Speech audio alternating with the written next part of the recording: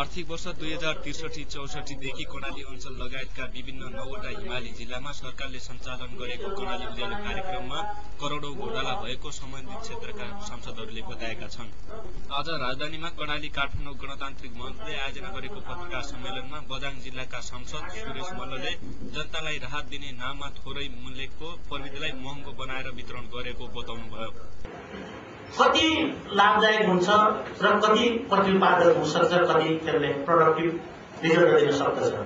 मलाई लाग्छ जनप्रतिनिधिलाई बाइपास गरेर उनीहरूलाई ओभर रुल गरेर कुनै काम गरिन्छ भने त्यो यस सिस्टमको र यस सहमतिको सरकारको पनि खिलाफको चिज हो भन्ने मलाई लागेको छ।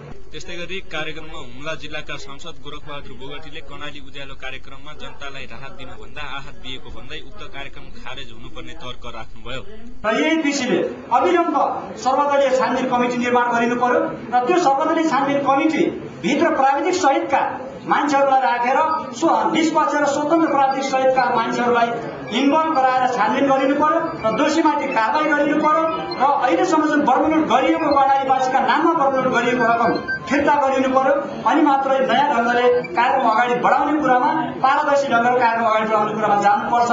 सोलर प्यानल चिम ब्याट्री र चार्ज कन्ट्रोलर चीनको मकाउ स्थित सोसाइटेड सोसाइटी नामक कम्पनीबाट खरिद गरी सिङ्गापुर र जापानको कियोसेरा कम्पनीले आफ्नो स्टिकर टाँसेर नेपालको लेजर सन कम्पनीलाई दिएको सो पत्रकार सम्मेलनमा जानकारी गराइएको थियो।